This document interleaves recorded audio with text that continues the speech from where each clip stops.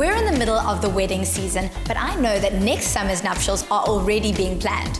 If you're looking for a style that favors the creative over the conventional, why not let Mishal introduce you to Da Boyz?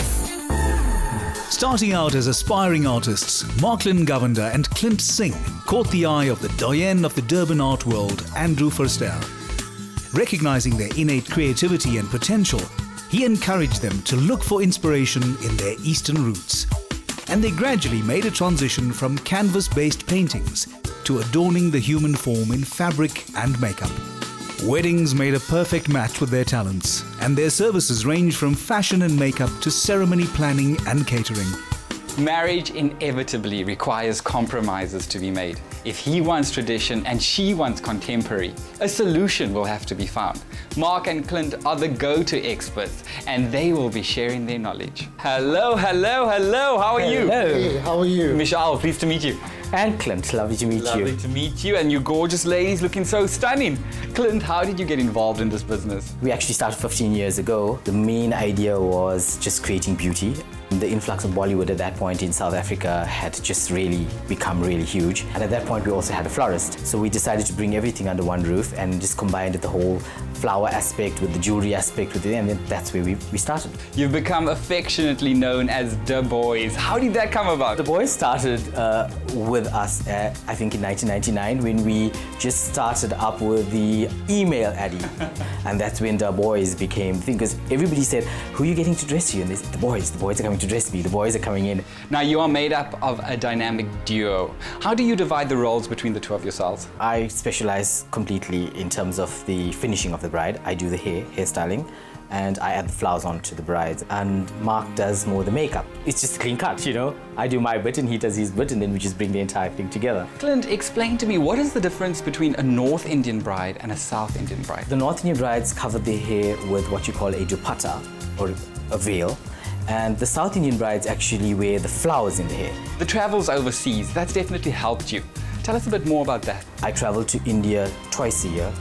Usually, the latter part of the year is when I go to the bridal shows and the exhibitions. I watch what's new on the ramp, um, and then I bring in the new accessories for the year ahead. Getting a first hand view of the latest styles and interpretations is absolutely essential for the boys to stay on trend. Although the local market is not as focused on high fashion for the current season, this may be due to the lead time involved in arranging an Indian wedding. How far behind do you think South Africa is in terms of international trends? We are really a season or two behind. Uh, I think South Africa is still leaning towards traditional aspects that is supposedly culturally correct, whereas India dresses for the traditional completely and then they move with trend very highly. Clint, you've got the beautiful bride over here. Will you please show me how a South Indian bride sets herself apart? Yes, the flowers that I'm adding on are just tiny little buddy roses. With Mirasha style, it was based more on contemporary with hair jewelry and some flowers. So I'm adding in little roses, which is placed on a pin and strategically placed around the hair to create a composition that balances out with the jewelry and face. Clint, I'm going to leave you to it. Let's chat to Mark. Mark, what role do you play? I'm totally responsible for the makeup and setting the trends for the makeup for the bridal couture for the year ahead. You travel internationally extensively. How do you incorporate the looks that you find overseas to a South African audience? I love what I learn. Um, it's fresh, it's always exciting. You deal with a, very, uh, a variation of makeup artists throughout the world when we get together at seminars. I love the fact that I somehow trust myself to leave off what I don't like. You are so passionate about what you do. Where did that all begin for you? As a kid, I've always answered so easily that I would be an artist, never realizing a makeup artist. Later on in life, I did my BCom degree and I thought this was not working for me because my parents were sort of against me being an artist um, as opposed to an accountant or CA. And eventually, somehow, I've worked my way back into the art field with canvases and now with women. Another extension of your creativity is your jewelry design. Tell me a bit more about that. It's inspired by India, pictures of India, Bollywood sets. This piece is specifically trendy because it's not balanced actually. It is derived from the North Indian har and the South Indian mala. It's supposed to be a piece that flows from a bulkier side to a more flowing, softer side. It, it balances off very clearly with the makeup. It's well stated eye makeup.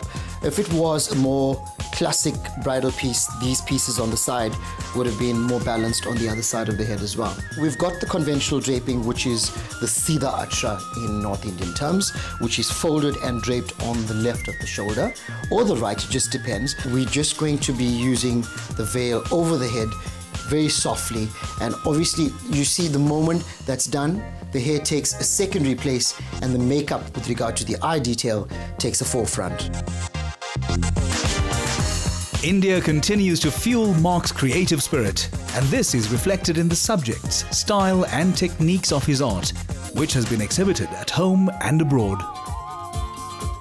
Mark, another outlet that you are passionate about is your artwork. Tell me more about this particular. This piece is actually entitled Banaras. It's derived from the original authentic design of gold thread woven through pure silk fabric threads in India itself. Most of my canvases are sort of textured where you can actually feel the lines and the designs or the patterns on the canvas itself. Mark, you've had the chance to exhibit your work in India. How was it received? It was more than just a welcome. It was a collaboration of a few artists. It was the Mahatma Gandhi Satyagraha exhibition. It was different for me, the type of work that I had to create during that ambit, but it was an eye-opener and a fragment of new creativity. Alongside costume and makeup, body art forms an important part of Indian bridal adornment, with intricate motifs applied using henna. This is known as mehndi. Clint, you meet a lot of modern brides. How do you marry the traditional elements with the contemporary that they seek? There's 16 elements that should be adorned on a Hindu bride. So certain aspects of that is selected and brought together and put together um, with the fusion of contemporary and traditional elements. You already do so much at Da Boyz, but look into the future. What do you see for yourself and the brand? Ideally, I would like to bring all bridal aspects under one roof. That would be a bridal emporium, for that matter, and then hopefully bring the garment and the clothing and the designing under one wing as well. Clients appreciate the relaxed, reassuring confidence that Da Boyz bring to planning and executing their weddings. They made you feel very comfortable and calm while dressing you up. And yeah, it was a fun experience and I loved every minute of it. They made me feel so special. They made me look so beautiful. I haven't, I didn't imagine looking as gorgeous as I do. The way they draped the sari, my hair, the makeup, my flowers, it's absolutely beautiful. Finding the balance between tradition and contemporary is all in a day's work for Mark and Clint. I can fully understand why they are in such demand. They take childhood dreams and turn it into reality.